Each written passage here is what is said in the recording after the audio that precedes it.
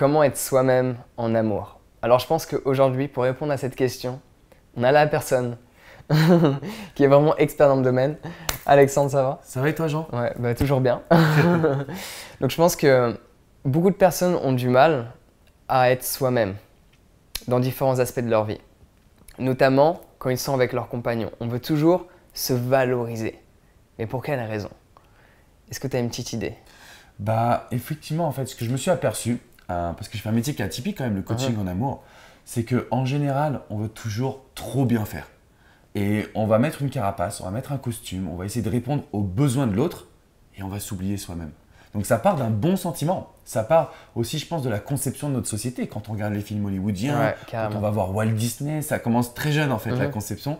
Et on a cette impression qu'on n'est pas soi-même assez bien, qu'il faut toujours faire rêver l'autre. Il faut bien comprendre qu'Hollywood, ce n'est pas forcément la réalité. Euh, On va pas montrer la routine à Hollywood.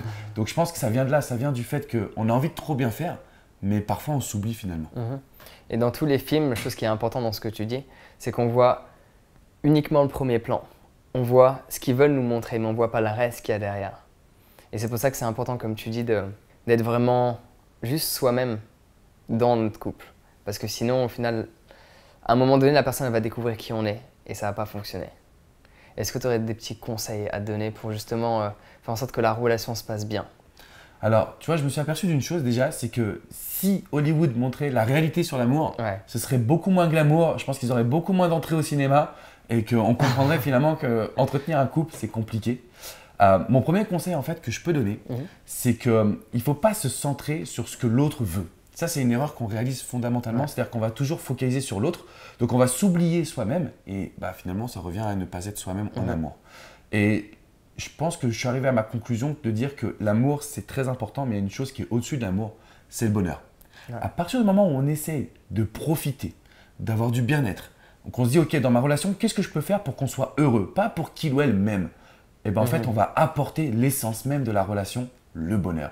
Et là, je trouve que l'amour, bah, ça prend son sens, ça apporte bien plus de bien-être que le simple fait de s'aimer, mais parfois de se déchirer, ce qui peut arriver. Donc je dirais, pour être soi-même en amour, focalisez votre attention sur qu'est-ce que vous voulez vivre, qu'est-ce qui va vous impacter, qu'est-ce qui va vous faire permettre d'avoir des souvenirs? Parce que c'est là où on a les belles relations. Mhm. Est-ce que tu es d'accord avec ça? Mais pour moi, En- c'est. Entièrement d'accord. Moi, je trouve qu'il explique bien.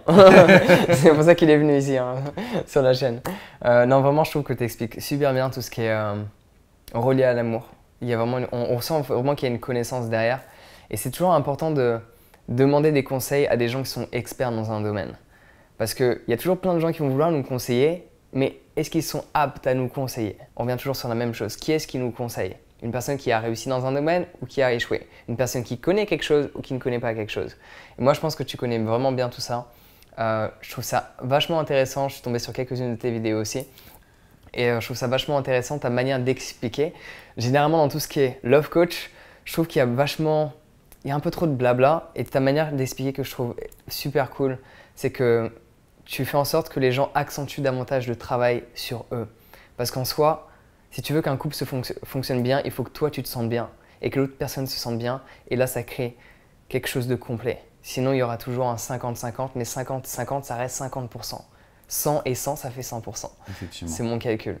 Ah mais c'est vrai, tu sais, moi je dis souvent que en fait les personnes qui viennent vers moi généralement, elles aiment à hauteur de 70%.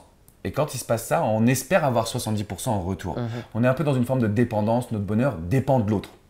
Si on aime à 70%, il reste que 30% derrière. Donc on va avoir une forme de frustration Ouais. finalement. Et euh, pour rebondir sur ce que tu disais, je pense que le problème qu'on a aujourd'hui dans le coaching en amour d'une manière générale, c'est qu'on veut rentrer dans des méthodes. On veut, le- tu vois, la solution un peu miracle, où on se dit, bah voilà, si tu fais ci et tu fais ça, tu vas pouvoir séduire cette femme ou séduire cet homme. Le problème, c'est qu'une fois qu'on est en couple, qu'est-ce qu'on fait? On reste toujours sur des méthodes et on n'est jamais soi-même. Si vous vous acceptez pas, si vous ne rayonnez pas, si vous n'avez pas confiance en vous, au bout d'un moment, c'est une bombe à retardement. Mhm. Et c'est une explosion, une rupture, ça fait mal, on n'en parle jamais dans notre société. C'est un mal-être constant, c'est la sensation de s'abandonner. Et bon, je pense que si vous suivez les vidéos de gens, c'est que finalement, vous êtes aujourd'hui au courant qu'il faut être soi-même, qu'il faut travailler sur soi. Et c'est génial, mais c'est vrai que c'est vachement oublié par notre société, je trouve. Mhm. Entièrement d'accord. La seule chose, c'est qu'ils vous, vous voient. Et moi, je vous vois pas. Mince, je suis désolé, ouais. Je sais, tu tutoies plutôt. Moi, je préfère tutoyer. C'est une Mais habitude. sinon, c'est pas grave. Je vais essayer de tutoyer pour la fin de la vidéo. Ouais. Donc, euh, est-ce que tu as quelque chose d'autre à rajouter par rapport à, à tout ça? Ou tu as d'autres conseils à donner? Ou tu... bah, Je dirais que quand on est heureux en amour, bah forcément on est heureux au quotidien. Et la quête de soi, en fait, c'est une quête qui est universelle. Et c'est la quête qui va vous amener vers le bien-être au quotidien. Donc là, on parle de l'amour. Finalement, moi aussi, je suis un grand fan de tes vidéos. Euh, si toi, là, tu veux chercher finalement à savoir qui tu es, j'ai bien fait là. Si toi, tu veux savoir qui tu es et que tu travailles dessus et que tu sors de tes addictions, de ta dépendance, de ton mal-être, du finalement la société un peu de consommation où on cherche toujours le petit mhm. plus et que tu te sens sur OK, qu'est-ce qui me fait plaisir? Comment je peux faire plaisir à ma femme, à mon homme, mais en même temps que ça me procure à moi-même du plaisir? Si tu te poses cette question, tu n'auras jamais de problème. Par contre, si tu te dis qu'est-ce que je peux faire pour qu'il ou elle m'appartienne ou pour pas que il ou elle je la perde ou je le perde, là tu vas avoir besoin d'un love coach et c'est pas cool généralement. c'est pas cool du tout. Donc voilà, c'est vraiment mon conseil, continuez cette quête de vous-même. Je sais que c'est pas facile parce qu'il y a beaucoup d'émotions qui viennent à la surface. Alors moi personnellement, j'ai appris à gérer l'émotion bah, grâce à la PNL, grâce à l'auto-hypnose, grâce aussi, je pense, à une forme de préparation mentale. Mhm. Et voilà, je pense que tu en parles mieux que moi en plus sur tes vidéos. Donc allez-y, foncez les amis parce que parce que vous allez être bien plus épanoui au quotidien. Que dire de plus? Ouais, honnêtement, bah, merci vachement pour euh, ces petits conseils. Et euh, n'hésitez pas à le suivre sur sa chaîne. Vraiment, c'est plutôt cool ce qu'il fait. Après, l'idéal, c'est que tout se passe bien. Mais on a toujours, besoin d'un petit coup de pouce. Moi-même, parfois, ça m'arrive de regarder des petites vidéos de motivation. Pourquoi pas? On a tendance à se prendre en photo avec un coach sportif et on dévalorise un coach de vie ou un coach en amour. Je vois pas pourquoi. On devrait se prendre en photo aussi avec. Parce qu'au final, notre bonheur mental importe tout autant que notre condition physique. Je dirais même que si vous ne vous posez pas de questions, c'est ça en fait, si vous vous posez pas de questions, les problèmes ils vont arriver.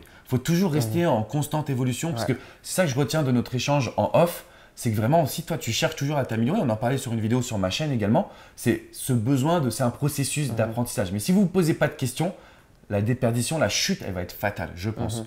Et soyez fiers de changer votre vie et d'être acteur de votre quotidien parce qu'il y a peu de personnes qui font suivre le pas justement. Et euh, je pense qu'il faut vraiment que vous soyez fiers. Parce que moi, je veux juste rajouter ce petit. Ouais, carrément. T'as as bien fait. bah, merci à toi en tout cas. Merci à toi. De m'avoir invité et qu'on ait eu cet échange euh, avant que tu me le regardes et par la suite. merci à toi. Ils peuvent te retrouver quelque part? Bah, Sur mon site euh, et sur ma chaîne YouTube, en fait, c'est très simple. C'est Alexandre Cormon pour tout. Voilà, donc vous pouvez m'avoir sur Facebook, sur YouTube. Euh, YouTube, c'est peut-être plus fun avec les vidéos, c'est plutôt mhm. sympa. Et puis, euh, un peu comme toi, je réalise des conférences, donc peut-être qu'on aura l'occasion d'échanger, peut-être même qu'on aura l'occasion de faire une conférence ensemble. en tout cas, j'espère pour l'avenir, parce que je pense qu'on se complète plutôt très bien. Mhm. Super. Merci à toi, vraiment. À bientôt.